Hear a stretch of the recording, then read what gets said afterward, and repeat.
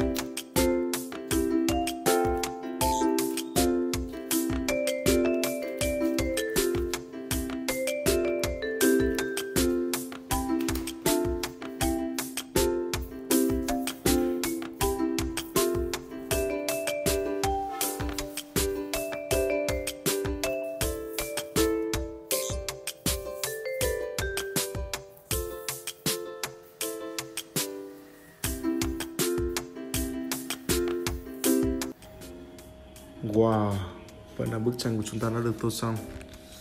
Đừng quên đăng ký kênh để có thể là người đầu tiên được xem video mỗi ngày nhé. Giờ xin chào tạm biệt các bạn và hẹn gặp lại các bạn ở những video lần sau. Bye bye.